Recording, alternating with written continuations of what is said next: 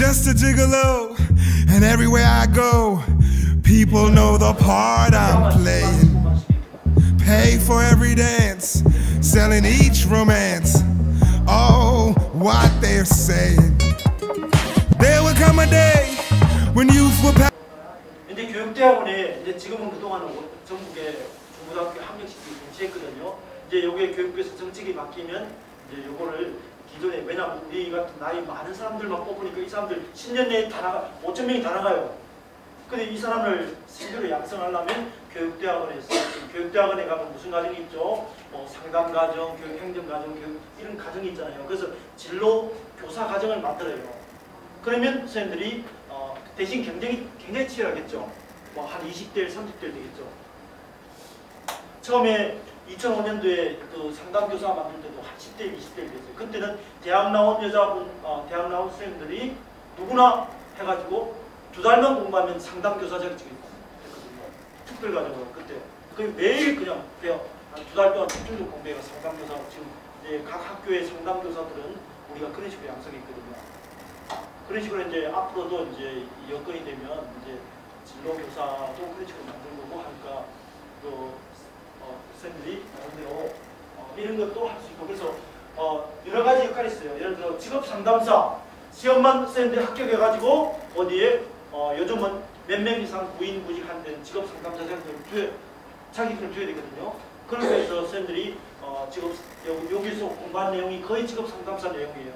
그러면 내년도에 원래는 끝났지만 내년도에 세 번 있는 직업 상담사 시험에 시험을 보라는 거죠. 그 가시면서 직업 상담사 문제집 있잖아요. 운전면허증 비슷한 거 그걸 하나 사가지고 기출 문제를 풀어보라고요. 여기서 그래서 그런 걸 하면 이제 부인 부직업체 예전대하고 대신에 2차가 어려워요. 2차. 2차는요 그냥 쓰는 게 논술로 상담에 막 2차를 쓰는 게 어려워요. 1차는 쉬운데 2차가 어려서 어, 그렇게 있거든요. 그래서 그런 과정을 통해서 한다든지 안 그러면 대학을 한다든지 안 그러면 이렇게 선생님들 같이 집에서 살림 살면서 이제 정부에서 앞으로 part time으로 4시간, 5시간 일하고 그런 공무원을 뽑거든요. 그런 걸 뽑아가서 순회 교사로 한다든지 이런 방법이 있습니다. 여러 가지 방법인데 자 여기 보시면 자, 선생님들 여기 보세요. 하는 일. 자 이런 일을 다 그래서 선생님들이 이왕이면 세트로 자기들 땄으면 좋겠다.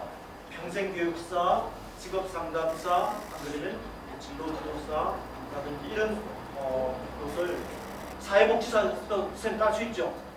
사회 그러니까 세트가 세, 3종 세트가 뭔가 하면 사회복지사, 평생교육사, 직업상담사 여기다가 이제 선생님들이 하는 진로 배우는 거 하고 요울이면 왜냐하면 앞으로 이런 그 평생교육 앞으로 대박인 직업이 뭔가 하면요 노인들 상대한 직업이에요. 그래서 이런 것과 관련해서 자격증 하나만 따는 게 아니고 세 개 정도 자격증을 따면 한 사람 뽑으면 1타 3기라고 그러죠.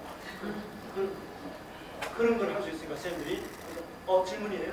네. 네. 저 포인트를 좀 키우시면 키우면 같아요. 아니 포인트가 아니고 이거는 인터넷.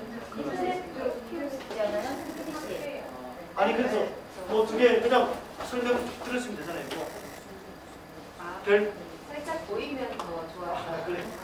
선생님 다음에 앞으로 앉으세요.